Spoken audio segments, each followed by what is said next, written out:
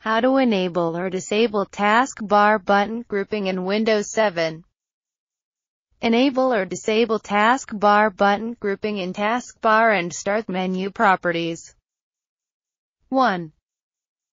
Right-click on an empty area of the taskbar, and click Tap on Properties.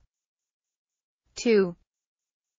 Click on the drop-down arrow menu to the right of taskbar buttons, and do step 3, 4, or 5 below for what you would like to do.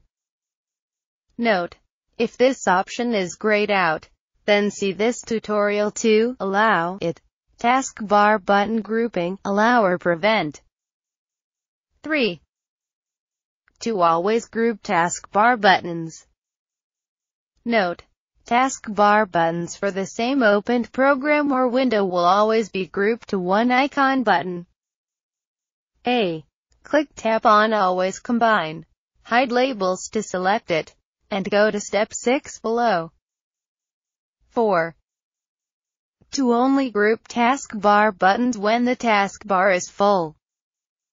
Note, taskbar bar buttons for the same opened program or window will be grouped to one icon button when the taskbar runs out space for the buttons.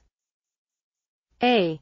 Click Tap on Combine when taskbar is full to select it, and go to step 6 below. 5. To never group taskbar buttons. Note, open windows will remain as separate bar buttons on the taskbar and not be grouped together. A. Click Tap on Never Combine to select it, and go to step 6 below. 7. Click Tap on OK.